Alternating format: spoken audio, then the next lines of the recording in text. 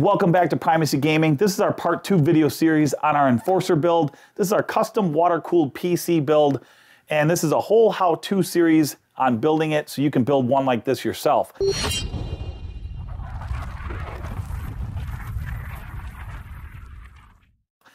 Now we have our Thermaltake View 71 case out. We stripped it down, just lift off the doors, really simple. There's not much to it. Couple little uh, thumb screws to get it apart, to get it down to this bare bones state. This case comes with these pre-installed 120 millimeter RGB fans. So it's kind of nice, one last thing we have to install, so to speak, because it comes pre-installed. It comes with these three and an exhaust fan at the back. Now, we want to install some additional RGB lighting for the case itself. And I looked online, and there's a lot of stuff out there that will give you a little mini strip for like $60. You can buy something just like this at Home Depot or Lowe's for about 20 bucks, sometimes even $10. And you get 118 inches of this with the controller, with everything included for 20 bucks. You can't beat it. It comes with this nice little controller here to control all your lighting. You can dim it, you can change the colors, you can make a couple different patterns and whatnot. This is nice because you could just, if you want to light up your case without having your computer on, it's really nice. So if you just aren't using your computer and you just want to see the lighting on it, it's pretty cool. So we now have the strip lighting. I cut it to length and you can kind of see this here. I'm going to peel it out this particular case, it kind of goes in really nice. It has an adhesive back, but that's not enough to hold it. So when you go up around the corners, instead of having to use special wiring to make the connections on the corners, just loop it. And what we're gonna do is we're gonna use some hot glue to keep the, the uh, RGB lighting in place. So I'm gonna work on that right now, and as soon as I get it done, I'm gonna show you the end result. You'd want to do this first because I think it's a lot easier to work with without your motherboard and all the stuff in the way while you're trying to get your RGB lighting kind of tacked in and everything together. But you can do it however you want. I prefer to do it this way because I think it's just a little easier to work with. So I'm going to get going on this. So let's uh, get this in place so you can see the end result on this. All right, guys, we've got the RGB in. You can see it's lit up. This is the way to go have the case empty when you put this in because it's a lot easier to put it all into your case without having stuff in the way. So once your RGB is in, we tested it out real quick. This is a 12 volt uh, RGB setup here. So once you get it all set up, you're good to go. Now we're gonna move on to installing the radiator and fans. I've already put together the radiator and fans on the bracket supplied by Thermaltake, this bracket here. We just mounted three more 120 millimeter RGB fans with this PrimoChill 420 millimeter uh, millimeter radiator assembly. So you can see that in the photo here. And it's real critical to get your fan airflow direction correct. If you're not sure, let me show you this fan here.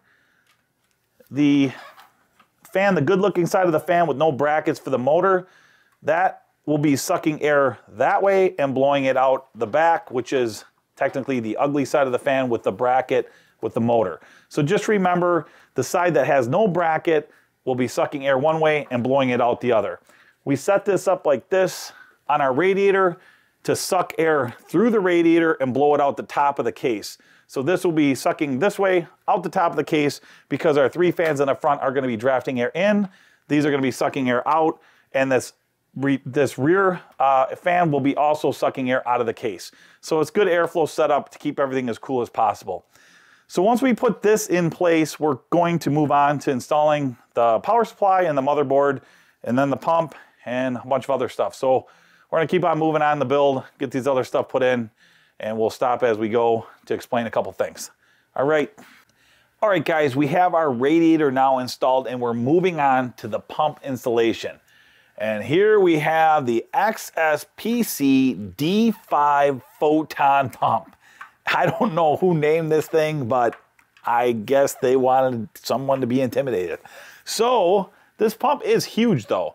It is compared to a not Coca-Cola can, it is very big. So you can kind of get an idea of the size and the capacity is 690 milliliters. So this will give you some additional cooling benefits just by the sheer size from the hot water that re-enters the uh, reservoir here you will get some additional cooling benefits just because it is this big. So this pump in particular, I'm gonna have him pan over this to give you an idea on it. This pump is the X4 pump that is a compact and high performance pump designed for PC water cooling. The pump has a flow rate of 600 liters per hour and a ceramic shaft for longer life and reliability. So if you want to choose a good pump for your build, I would highly recommend this one because it is all glass. It is very well constructed. I can't really find anything wrong with it. And it should be very easy to mount. It's supplied with a couple brackets, this bracket and then a top and bottom bracket here to mount. So we're going to get this mounted right now. Let's get it mounted. All right, guys. D5 photon going in. D5 photon. Oh, this thing is a D5 photon.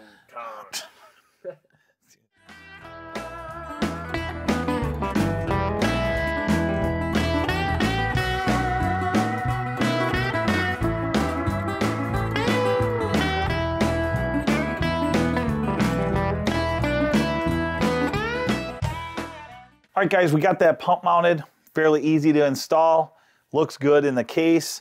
And now we are going to do the power supply next. Pretty straightforward. We already put these rubber pads down here if you want to look at them. Uh, these came with the case. If you're wondering what those rubber pads are that come with the case, they're for your power supply. You just stick them down there and that's what your power supply is going to sit on.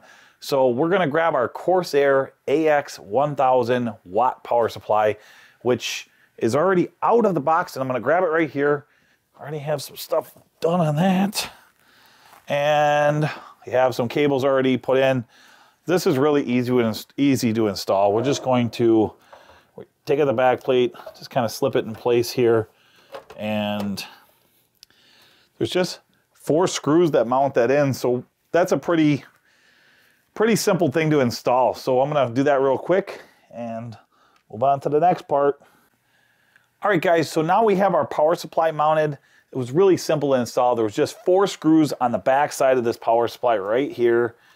Just the couple screws, one, two, three, and four.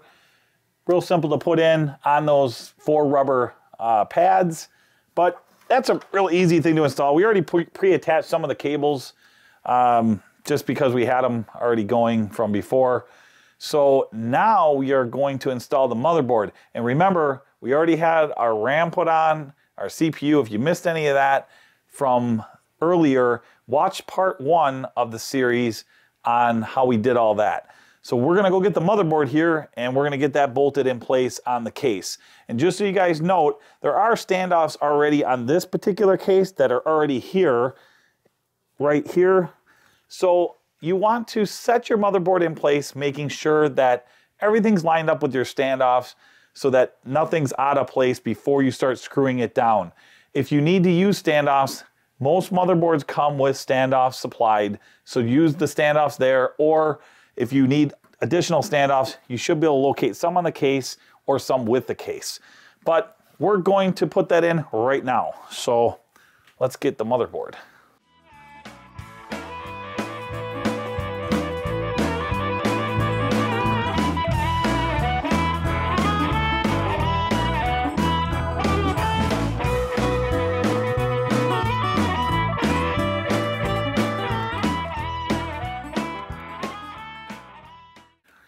Okay guys, so now we are doing some cable hookups. Basically, the cables from the tower itself have to be hooked up to the motherboard, the power switch, the USB ports, and all those cables that come with it have to be hooked up. To dress it up a little bit, we have, let me get them here. We have these sleeves. So you can get these colored sleeves online or at some electronic stores. Um, they come in various colors. We got silver and blue because that's kind of our theme here on the color scheme of our build. We do also have black, some black heavier sleeves too. So for your cable management, these are really nice. Uh, some come pre-split, so you can just open them up and wrap them around your cables. to kind of clean everything up. And we're already doing that with this cable set right here, this blue one, if you can see it coming through here. This is our switch setup. Now it's real important to note in your manual for your motherboard, they have the pins on the board are right down in the corner. You can zoom in on that.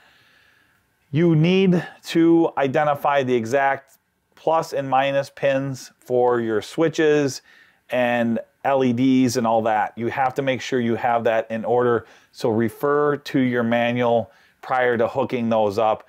Don't guess at it because you'll probably get it wrong. So we're going to hook that up right now, do a couple other cables for the motherboard and continue on with the build. So we're just gonna keep on going here. So now we're, all right guys, so now we have to install the graphics card. We had to purchase a Thermaltake riser cable in order to use this special bracket that this Thermaltake 71 case uses to hold on to the graphics card itself. So basically, we're going to be putting in this 200 millimeter uh, Thermaltake cable and we'll mount that right to the bracket. We'll show you how to do this. We're going to want to mount it though underneath, not through the slot because it won't be able to make that kind of a bend. So I'm gonna do that right now and we're going to have our new 2080 Ti EVGA card installed here shortly.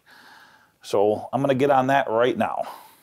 So you're going to wanna install it in your first um, graphics card slot, which is gonna be our top slot here. And now we're going to install our bracket and put the bracket. That there the it's tough, so. It's a top slot. Oh, I messed up. Top slot. Wrong top slot. That was I I looked, I missed that top slot. My eyesight's going bad. All right, one more.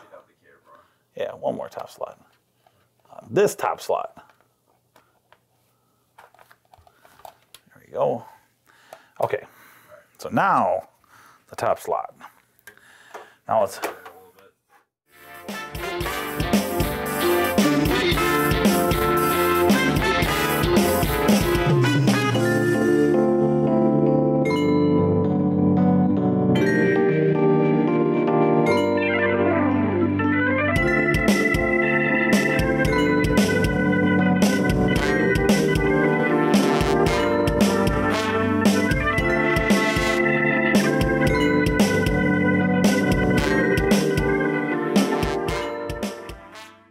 guys, so now we have the riser cable through the bracket mounted. We ended up going through that little space that I said we weren't going to do, but it just worked out that way. We were able to get it to the top uh, graphics card slot and everything actually mounted pretty good. So that is how that bracket sets up and mounts the riser cable. You do have to use a Thermaltake cable because we had a Phanteks cable, but the bracket mount wasn't the exact same. So I don't know if the other mounts are going to be the exact same, but this one uh, from Thermaltake wasn't too expensive. I think around $30. We'll try to link it in the description below for you guys. But let's mount the graphics card. So this gonna this will sit pretty straightforward. It's gonna sit down, line up those two marks, line up our slot here. Kind of just push it. Let's give it a push down here and see there it goes. Yeah, so that holds nice and tight now. That's a lot better than it was looking before. So that's nice and straight, nice and tight. And now we will put the last couple screws on the back to finish the mount real quick.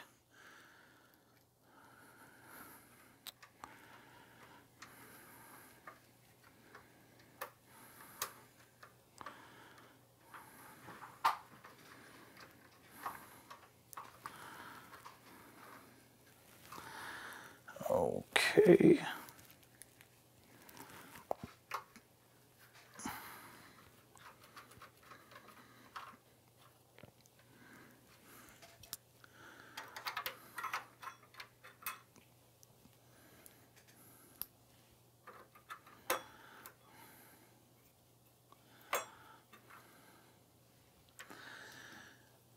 All right, so now our graphics card is mounted it's all in the slot. The slot's locked. We're set to go. It's got a nice stable platform now. And we're ready to move on to the tubing. So we're gonna do some tubing bends here coming up. So let's keep going. Hey guys, welcome back. Uh, we made a lot of progress on this build. We got the tubing bends done.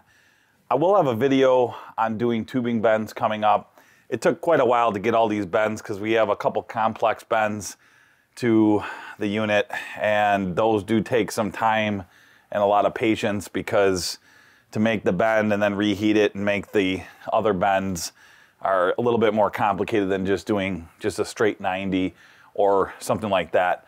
But as you can see, we got all the tubing bends done. We started an initial fill. We had a problem with the cap on the pump. We cannot seem to get it off and before I break it, I'm not gonna do that. So I ended up putting an extension tube that runs all the way up past the height of the pump. We cracked that cap enough so that we have the air pressure off of it and we're gonna be bleeding it. I ended up sucking some solution there initially. Uh, and if you wanna know what cryofuel tastes like, like Kool-Aid, tried to spit that out, but that was fun. So let's uh, power this thing up and start the filling montage. All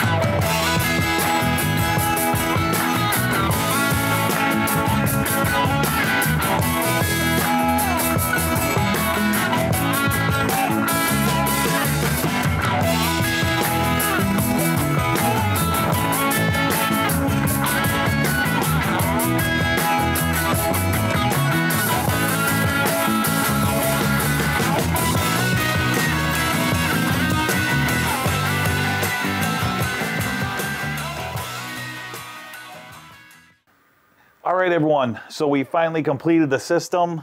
It's all up and running. We're going to be moving it over to our new workstation here to run it with some benchmarks and some other stuff we're going to run with it. But everything turned out pretty good. Um, we have a controller here to do our RGB because we wanted to be able to control uh, things a little bit different on this one. Because of the motherboard that doesn't have the RGB header on it, we did it that way. But everything turned out really, really good. So hope you guys like it. We've got some cool pictures of it. And we will show you the whole entire setup over on our new workstation in just a few.